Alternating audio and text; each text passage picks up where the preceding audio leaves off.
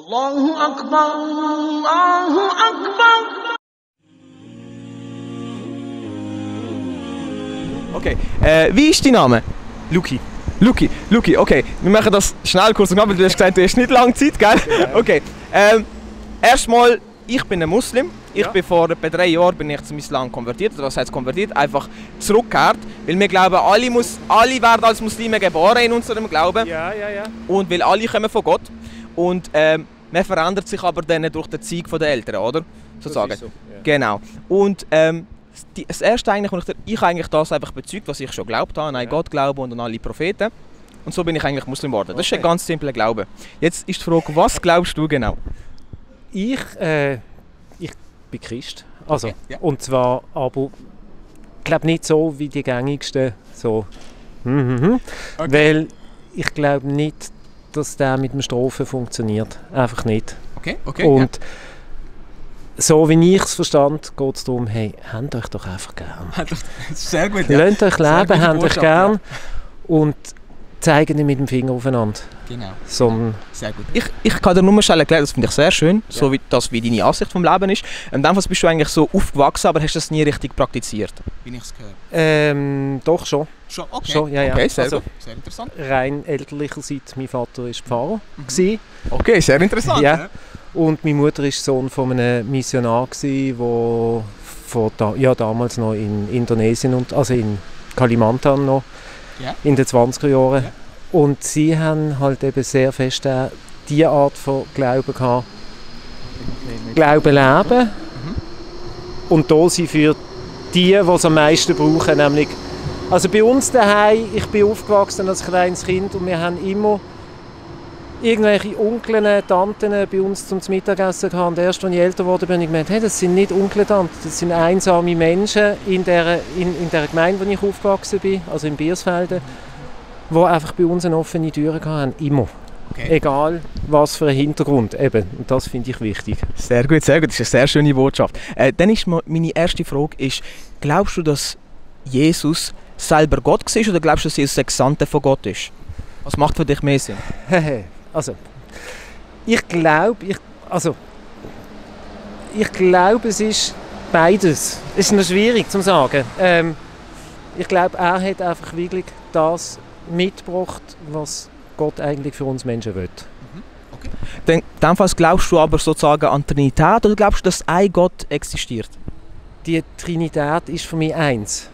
Das ist In dem Fall bist du... also so, ich glaube auch ja im, im Alten Testament ist ja von, von, sorry, Genau, ja, sorry. von, von Gott, vom, vom Vater. Ähm, aber dann gibt es ja noch Ruach, die Geistkraft als das Weibliche, also im Hebräischen. Genau, und Ruach ist das Weibliche und dann gibt es noch das Kind. Also so die, die drei Sachen, die wie für mich zusammen eins sind. Okay, ich, ich kann dir mal sagen, was wir im Islam glauben. Wir im Islam glauben, dass Jesus ein Prophet war. Ja. Wie Abraham, äh, Adam, Abraham, Moses, Mohammed, Ja. alle die Propheten auch. Genau, genau. Akzeptierst du das? Das kann ich akzeptieren, ich kann damit leben. Okay, sehr gut. Weil der, der Islam ist eigentlich der einzige Glaube auf der ganzen Erde, wo als einziger daran glaubt, dass Jesus Gesandter von Gott war. Ja, ja, ja. Und nicht zum Beispiel selber Gott. Weil wir wissen zum Beispiel, dass Jesus gegessen hat. Er hat müssen trinken. Er ist abhängig von etwas. Gewesen. Deswegen tun wir Muslime aus islamischer Perspektive durch, können wir durchschließen, weil das erwähnt Allah oder Gott Ah. sozusagen immer im Koran, auch in den anderen Schriften, dass sie gegessen haben, dass Maria gegessen hat, dass Ja, ja. Jesus gegessen hat. Ja. Zum sagen, hey, das sind zum Beispiel keine Götter, weil ein Gott ist im islamischen Konzept unabhängig von allem. Vor allem. Ja, okay. Hey, Nur- Nur als Beispiel, nur Genau, als Beispiel. genau. Weil ich kann dir hier mal stellen, weil Propheten sind ja immer mit Wunder auch gesandt worden. Ja. haben Ja. immer Wunder verbracht. Wie Moses hat es mehr oder Ja, können ja. spalten, aber alles mit Gottes Erlaubnis. Jesus hat können Blinde wieder sehen lassen, Genau. wieder genau. Tote vom Leben auferstehen Genau. sozusagen, oder? Aber alles mit Gottes Erlaubnis. Was ist jetzt das Wunder von Mohammed gesehen? Sagt ihr das irgendetwas? Nein, da bin ich jetzt willig, das kenne ich zu wenig von der, rein von der Geschichte her. Also, das Wunder von Mohammed ist der Koran. Der Koran Okay, ja. ist die Schrift, die mit Ja, ihm mitgegeben genau. worden ist, sozusagen. Wie im Prophet Moses, äh, Friede und Segen auf ihm, ist ihm äh, Tora mitgegeben worden. Genau. Im Prophet äh, Jesus, Friede und Segen auf ihm, ist ihm das Evangelium mitgegeben worden. So. Und das glauben wir im Islam, Ja. jetzt, aus islamischer Perspektive sage ich jetzt mal immer, weil ich will, Ja, nicht, ja, ich will nein, nein, überhaupt ja, ja. nicht das Christentum kritisieren Ja, oder ja. irgendwie, oder sch- dass irgend... Wenn, nein, also wenn, wenn Kritik, dann immer am Mensch. Weil wer, was, wer macht, Ja. Egal jetzt, glaube ich, ob im Islam, ob, Genau.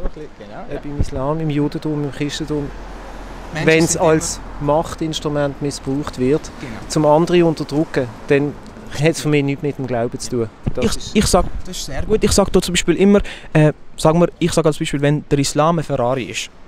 Der Islam bedeutet nur völlige Hingabe zu Gott. Ja. Daraus kann ich auch schließen, Jesus hat sich auch völlig Gott hingegeben. Ja. Und ein, ja. ein Muslim ist eigentlich nur ein Gott ergebene, Aha. übersetzt ins Deutsche. ja. Das heißt, Jesus hat sich Gott ergeben. Ja. Jesus hat zum Beispiel, es gibt Verse in der Bibel, wo Jesus auf sein Angesicht geht und zu Gott betet. Mhm. Weißt, kennst du die Verse? Ja, so einzelne, ja, nicht auswendig, aber... Auch Abraham und Moses, Ja, ja. alle Ja, die haben auf dem Gesicht am Boden betet. Wer betet heutzutage so? Muslime, oder? Voilà. ja, ja. Wie ist damals der Name? Luki. Luki, Luki, nochmal danke, schön, dass du dir Zeit nimmst, gell? Hey, sehr wenn, du, wenn du musst gehen, gibst du mir einfach Bescheid, gell? Ja. Wir haben Ja, vielleicht nur kurz eine Minute. Ein, eine Eine Minute letzte noch. Minute. Eine Minute Ich tue dir nur schnell die 15 Punkte ganz schnell Okay. abzählen, wieso der Koran ein Wunder ist. Und dann lohne ich dich mit dem. Ist Okay, gut? Okay. Vereinbart? Ja, ja, ja, Okay. alles gut. Also, der Koran ist ein 1400 Jahre altes Buch, Mhm. unverändert immer noch in der original arabischen Spruch. Es enthält, es enthält wissenschaftliche Fakten und alles ist 100% richtig. Zum Beispiel über Embryologie, über Sonne und Mond, dass Sonne und Mond eigene Umlaufbahn haben, ähm, die Entstehung vom Universum, der Big Bang, etc. etc. Mhm. So, genau. Dann, äh, ähm, genau. Viertens, der Koran ist leicht zu merken. Und Millionen, Millionen, Millionen von Menschen haben den Koran in- und auswendig im Kopf. Ja. Das heißt, ein Buch, das über 600 Seiten hat, in- und auswendig im Kopf, immer noch in der original arabischen Sprache. Das heißt, es ist ein unverfälschbares Buch. Weil über Millionen, Millionen von Menschen haben es im Kopf in- und Ja, auswendig. Das heißt, wenn jemand würde probieren zu verfälschen, würde man es direkt merken. Okay. Richtig? Okay, perfekt. Ähm, dann verbessert das Leben der Menschen. Und es ist äh, offenbart worden einem, einem Analphabet. Der Prophet Mohammed hat weder lesen noch schreiben können. Okay. Das heißt, alles, was von Gott gekommen ist, zum Engel Gabriel, ist zu ihm gekommen und alles, was er gehört hat, hat er von sich wiedergegeben. okay. Und die Menschen, die um ihn herum waren, haben das dann aufgeschrieben. So ist der Koran entstanden. Über eine Ja. Zeit von 23 Jahren.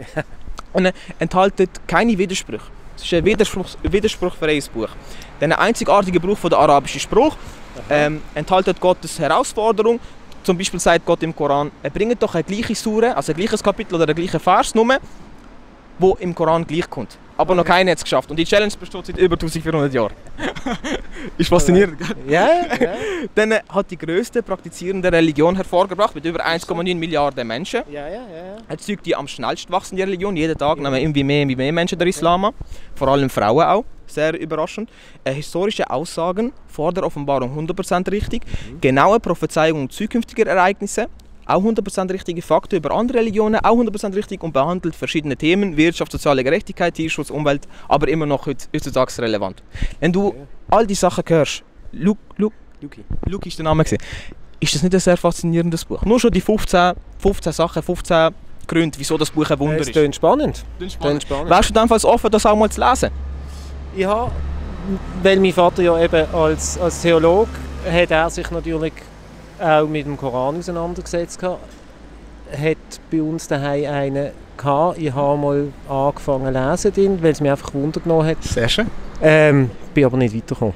Okay, okay. Würdest du dem nochmals ein Go geben? Würdest du nochmal sagen, okay, ich probiere es vielleicht Ich nochmal? kann es wie nicht Oder- sagen. Ich kann es wie nicht sagen. Okay. Dann, äh, Vielleicht. Vielleicht. Also, Würdest du einen nicht wollen nein. mitnehmen, weil ich habe einen dabei? Nein, ist gut. Nein, ist gut. okay, dann kann ich dir einen Tipp geben, zum Abschließen. Ja. Ähm, weil das habe ich auch gemacht und das gebe ich jedem als Tipp, der immer noch ein bisschen auf der Suche ist, Ja. vielleicht nicht wirklich weiß, okay, was ist jetzt wirklich die Wahrheit, oder? Ist, wenn du mal daheim bist, Mhm. für dich selber, sag einfach, weil, probier's mal, das ist eigentlich der effektivste Weg, weil alle Propheten haben das so gebetet, mit dem Gesicht am Boden, mit der Stirn am Boden. Kannst du so machen oder auch normal im Stehen, jetzt Ja, auf dem. Weg, wie du willst. Ja. Kannst einfach sagen, oh Gott, wenn du existierst, wenn es dich gibt, bitte du mich recht leiten. Mhm. Schick mir ein Zeichen, du mir die Wahrheit sagen. Äh, du mir die Wahrheit zeigen, als Beispiel. Würdest du das machen? Das Würdest du dem. Machst du- Okay, sehr gut. Aber dann kann das sogar jetzt gerade ein Zeichen sein. wer weiß? Wer weiß? Wer weiß? Also, Luki Hey. ist der Name, gewesen, gell? Ja. Hey Luki, danke vielmals, dass du dir Zeit genommen hast. Und eben, ich habe, äh, der Ja. YouTube-Kanal heißt Muslim Jibril. Okay. Und dort kannst du dann, ich, ich, kann ich dir vielleicht meine Nummer lassen? Dann kann ich es gut. dir schicken. Oder gut, du es schau mal. einfach, okay, Muslim Jibril einfach Okay. eingeben. Luki, Hey. ich danke dir vielmals. Danke, dass Auf. du dir Zeit genommen hast. Vor allem eben in so einem Stress und alles. Nein, nein, ja, easy. Und vielleicht sehen wir uns ja wieder Ja, mal. He? ja. Also mach's gut. Sowieso. Alles Bis gut. dann, Luki. Hey, Ciao, ciao. schön. Ciao.